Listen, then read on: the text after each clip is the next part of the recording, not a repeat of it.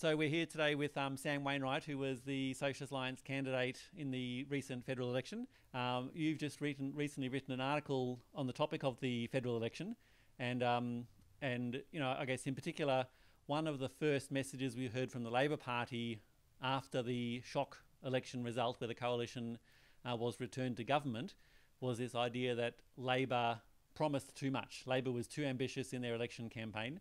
Uh, what's your what's your response to that to that notion? Yes, well, that message has been delivered loud and clear by the heir apparent to Bill Shorten, uh, Anthony Albanese. Um, you might have seen the uh, front page of today's Australian newspaper saying Albo ends class war. Um, now, there's two two immediate uh, responses to that. One is, of course, Albo's class war was largely rhetorical anyway, or the Labor Party's um, class war, so called, was largely rhetorical during the election campaign. There's a little bit of substance to it, but we'll, we'll come back to that later. Uh, but secondly, um, a rhetorical question would be this Has Anthony Albanese secured agreement from the Liberals and the bosses to end the class war as, as well? Uh, if not, does that mean he's just giving up? Um, you know, it's worth us stepping back and reflecting on the fact that the wages share of national income in this country has been in constant decline for more than three decades now. So there's, there's, there's a class war that never ended, and frankly, the bosses are winning it. And that's where we need to situate this this, this discussion. Like you said, uh, almost immediately that uh, the election result came in, um, both the commercial media commentators, but also senior Labor figures themselves, started running out these lines about Labor having been too left wing, too big a target, and that kind of thing. Basically, signalling that the Labor Party needed to needed to to move to the right. Um, now, I would say that the, uh, the, the real problem that the Labor Party had was that, that their left wing policies, such as they were, was too little, too late.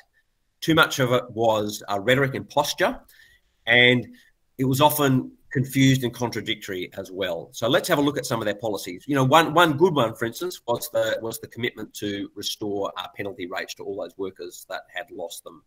Um, in retail and hospitality. So that was genuinely a good thing. But beyond that, there was nothing really that the Labor Party was proposing that was going to uh, seriously um, attack the profits of big business, even though Bill Shorten used language about going after the big end of town. Simultaneously, Labor went after better paid working class or middle class people through the um, through his proposals to wind back negative gearing and franking credits. So in doing that, uh, Bill Shorten handed um, an angry mob over to, to, to Morrison, but he didn't have to really galvanise support amongst the broad mass of working people in this country. There, were, there wasn't enough real um, left wing policy to really inspire people. And so, as I said, apart from the um, the turn on um, the, the, policy on penalty rates, everything else was just a little bit too partial, a bit too late, a bit too clear, a bit too confused. So, for instance, extending uh, dental care to pensioners is, is, is, a great thing, but it, it was going to be means tested. Uh, so, the vast majority of Australians, including those who struggle to afford dental care, just couldn't just couldn't benefit. Of course, if that had been if if Labor had said we're going to extend uh, Medicare to all dental um, um, health care, that would have transformed the lives of hundreds of thousands of people. Uh, like, likewise, uh, a, a, an increase to Newstart. So, under pressure, Labor finally agreed to review Newstart. I mean, this is just ridiculous. What what needed to be reviewed, I don't know. So it was really people sort of saw it as having trying to have a bob each way, trying to trying to uh, appeal to those um, who are or have suffered um, on that pitifully low Newstart without really actually committing to do anything. There was similar confusion around the, the policy on um, raising the wage of childcare workers. I mean, I don't think there's m- many working people would begrudge a pay rise to, to childcare workers, but Labor themselves couldn't explain how it was that a, a, a subsidised increase to the wages of childcare workers wouldn't just be absorbed by private operators and passed on as fees. I think it would have made a lot more sense and been a lot more far reaching, a lot more galvanising, um, and, and really won a lot more votes to Labor if they said, well, we're going to, we're going to raise the minimum wage for all low paid workers by legislation and increase our funding to the not for profit childcare sector. And so the Labor didn't really have a, a sufficiently left or coherent program. Uh, and it's also worth underlining the fact that the Labor Party just had no serious or credible policy on climate change. You can't run around saying vote Labor for serious action on climate change while not declaring a position on Adani and while promising to spend $1.5 billion to facilitate a massive expansion of fracking across the top end. You, you know, you either you think there's a climate emergency or you don't. Uh, so Labor's policy on that front was completely co- uh, incoherent, and it means that Labor is neither able to convince people that runaway global warming is a serious threat, which it is, but also it's not able to convince workers in the hydrocarbon industry, so gas and coal, um, and obviously I say that with particular reference to the, to the votes in uh, central and northern Queensland, it's not able to convince those workers that a transition away from fossil fuels does not have to endanger their jobs, their well-being, and their communities. Uh, those of us who've been environmentalists for a long time often talk about the need for a just transition, but really that's just become a little bit of a um, bit of a catchphrase or a slogan. It needs to have substance to it.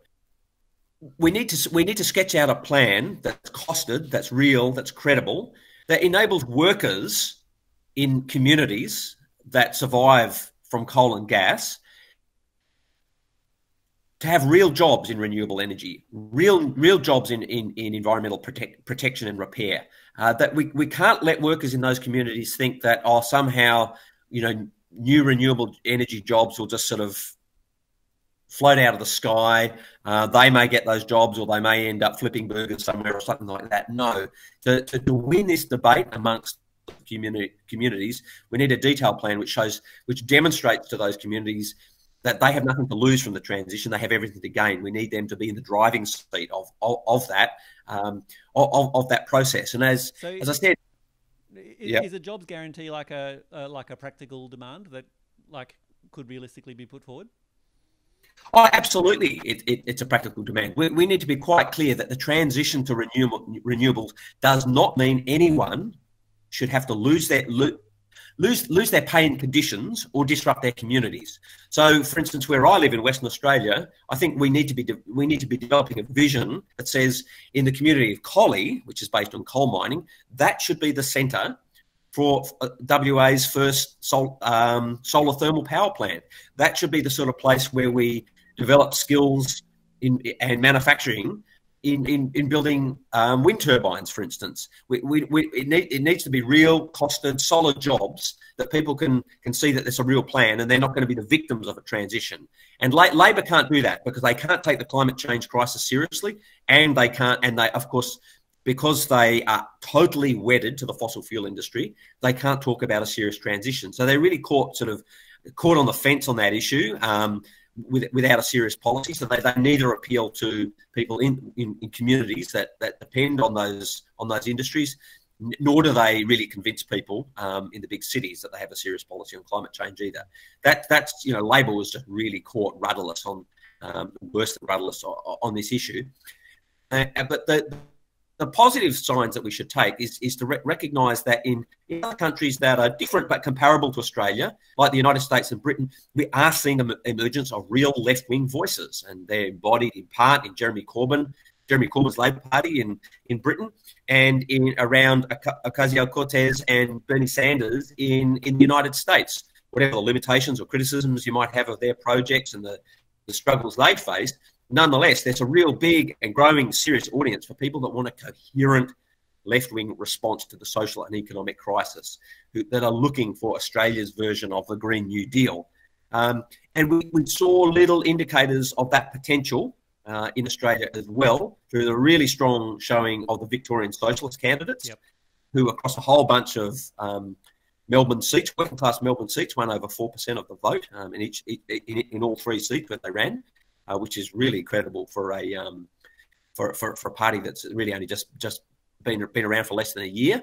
Um, I think it is also worth noting that the campaign by Max Chandler Mather, the Greens candidate in Griffith, who ran a very left wing campaign, perhaps the most most left wing campaign of any Greens candidate across the country. Um, and won, I think, the second highest primary vote of any Greens candidate, um, second only behind um, Adam Bandt, very left wing, very energetic and left wing campaign. So even though the the social, political, and economic crisis in Australia is not as va- advanced as it is um, in the United States or or Britain, where they they they saw financial crisis much more sharply than we did. Um, an example of that, the, the subprime loans crisis they had in the US. That's not to say people aren't hurting in Australia; they are most definitely, um, but it hasn't reached the sort of boiling point like it has in, in, in, the US or Britain.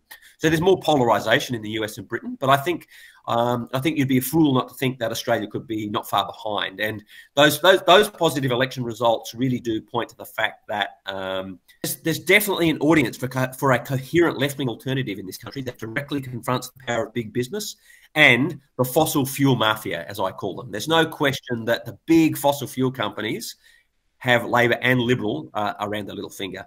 Uh, we, we, need to we need to break open their influence over Australian politics if we're to go forward. Um, so there's positive signs for the future. I, I you know. It's too early exactly how that will come together in Australia. It's hard to see a Jeremy Corbyn in Australia um, emerging in the way that it happened in Britain, both because there's nobody um, in the Australian Labor Party who's really got the the politics of Jeremy Corbyn, and also the Australian Labor Party doesn't have the mechanism that would allow the rank and file of the Labor Party to actually elect a leader over the, over the head of their more conservative parliamentary colleagues. So who knows how that's going to emerge in Australia? I dare say it'll, it'll need to draw on good good people who are still in the Labor Party, left wing Greens, socialists, trade unionists, community activists, environmentalists. Um, but we've seen some positive signs that such a thing can or will emerge in Australia, and I think the tasks for anybody who wants to see that happen here um, coming out of this election is just basically hit the ground running. Um, and it, the conditions that, that, are going to help um, mature that um, is precisely grassroots struggle in our communities, on the streets, in our workplaces, in our places of education against the very policies of the Morrison government. There's no point waiting um, three years for the next election. The, the, the work we need to do to build a political alternative needs to happen on the ground in the streets right here and now. Hmm. Okay, well, isn't it funny? I mean, you basically addressed pretty much all the things I was going to ask you about, even though I didn't ask you half those questions. I mean, I think obviously the the the challenge of building the alternative is actually is actually the real challenge. And I guess I guess one way to one way to um I guess one thing it would be worth addressing directly, even though maybe you've say you've given an, an implied answer, but there is a certain layer of people basically saying things like, you know, um, I guess, drawing negative conclusions about the electorate. People voted for cruelty, or people are stupid. Uh, I mean, like one version of that is the kind of I'm going to New Zealand, Australia's fucked. There's also the fuck Queensland um, kind of line of argument as well. There's also the people saying, you know, um, yeah, no, what will you say to those, to those? I guess what you say directly to people who basically put that argument, oh well, the electorate is fucked. People voted for cruelty or for you know, people didn't don't care about climate change. They don't care about Adani. They just voted for their own hip pocket. Whatever people are too aspirational. How whatever the whatever the variations on that. What would you say to people who say the fault is with the electorate? Look, I think there's there's I'd give two responses to that. The first is we need to temper this idea that somehow there was some great big endorsement of the Liberals and Scott Morrison. You know, if you look at the primary vote, there was um, the, the there was a, a small swing against both um, and the other thing you could say is that um, on primary votes alone, I believe Labor and uh, on last count, both Labor and the Greens combined vote is ahead of the of the uh, Liberal and National Party vote. So really, there was there was no great change. Um, of course, in Australian politics, um, it's not enough to get the majority of votes across the whole of the country. It's it's where you get them. So that's the that's the first thing. We shouldn't we shouldn't overstate this as somehow Australia's big Trump movement massive shift to the right. I mean, that's a bit of a misinterpretation of what happened in the United States as well. So that's the first thing.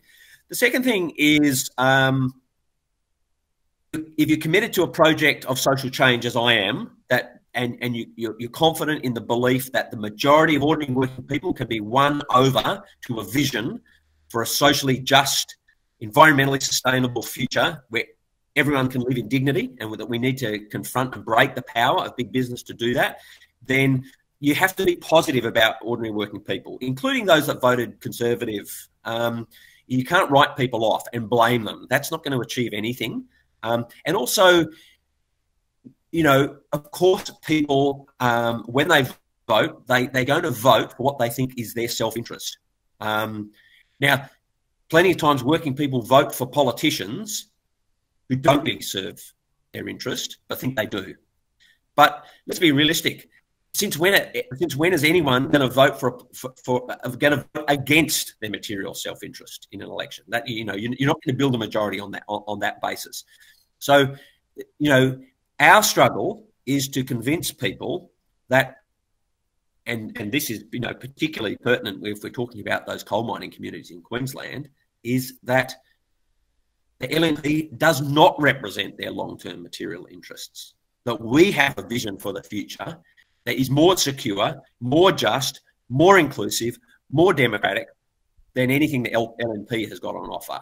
Um, you know, if coal mining communities feel threatened for their jobs right now, um, and no one is offering an alternative beyond a vague wish list or, or, a vague reference to, to to just transition without without any without any specifics, then of course people are going to keep voting for politicians that they think are going to protect the coal industry. Um, it's, it's, it's utterly naive to think it would be otherwise. I mean, that just demonstrates the the you know the complexity and the seriousness of the challenge we face. But we, we, we always had that we always had that challenge. Running around saying, "Oh, people in Central Queensland, you know, don't care about their children," um, is is just patently absurd and insulting. It's not going to help us win those people over. Um, and of course, you know they.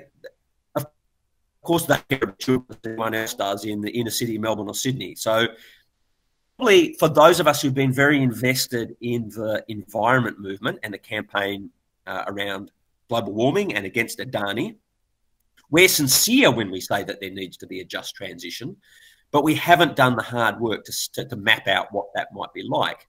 Um, and as I've already said, it's you know clearly the Labor Party has not going to do it. And um, yes, in in theory, the union movement should be doing it. Um, but leaving it to the union movement is not going to be enough. I mean, the, the, the, union movement hasn't done it either because the union movement, by and large, is so tied to the Labor Party that it's not able to grasp properly grasp this question of what a, a transition away from fossil fuels would really look like either. A transition that still guarantees people the jobs and condition, you know, the, the wages and conditions, uh, the, and the community connections they currently enjoy you know, of course, there, are people in the union movement who are thinking about it, um, and but I think those of us who are campaigning against Adani and against fossil fuels more, more generally need to connect with them and start to bring the pressure um, vision um, from outside. Um, and, and, and, and attempt to bring um, the union movement and large layers of workers with us in that process.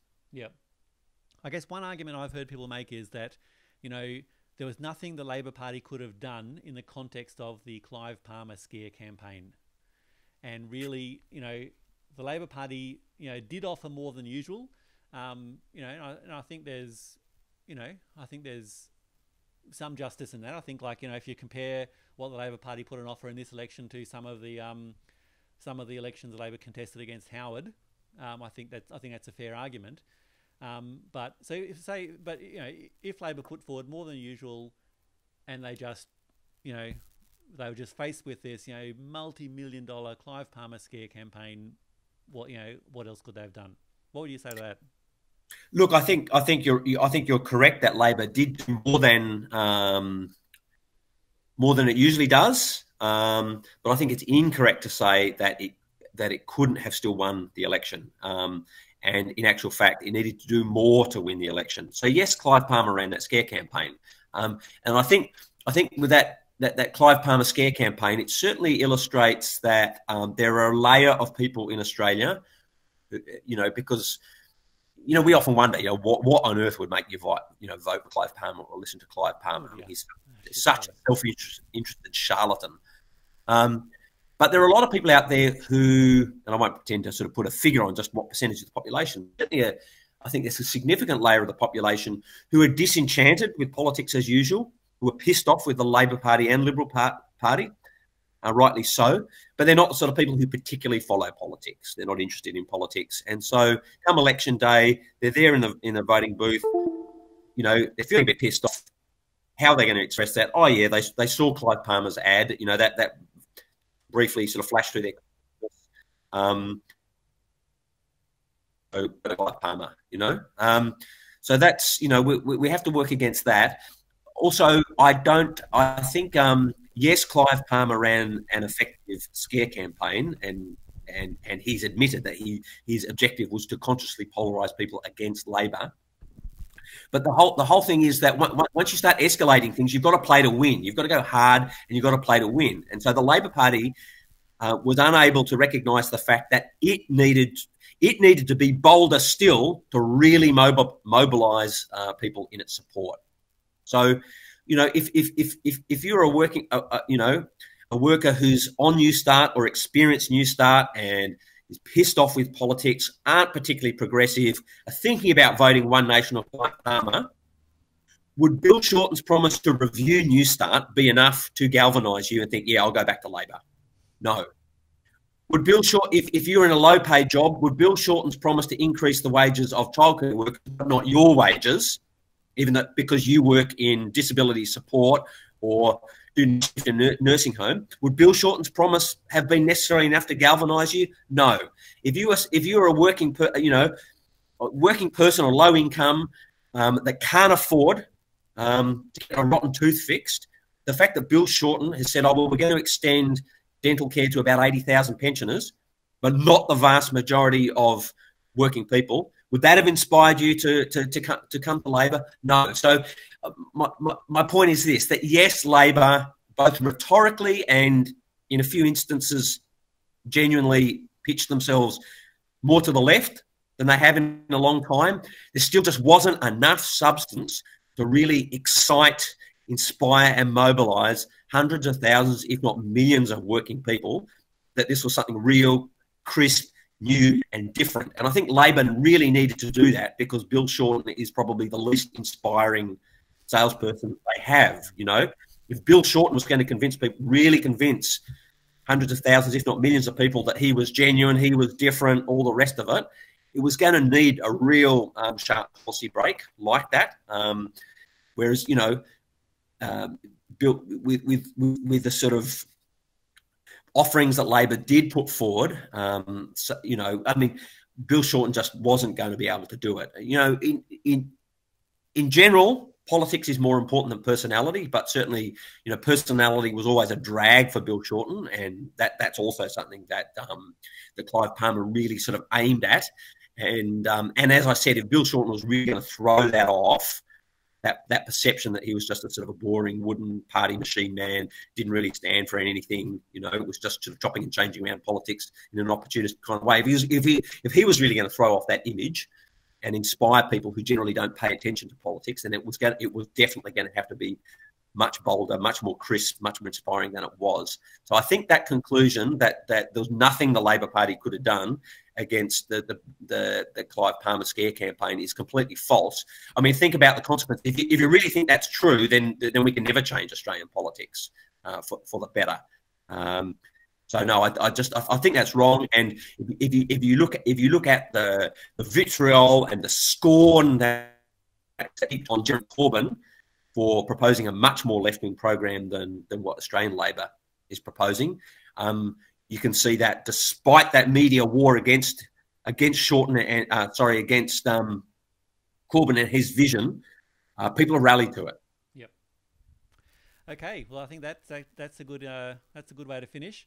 Um, so thanks for joining us today on Green Left TV.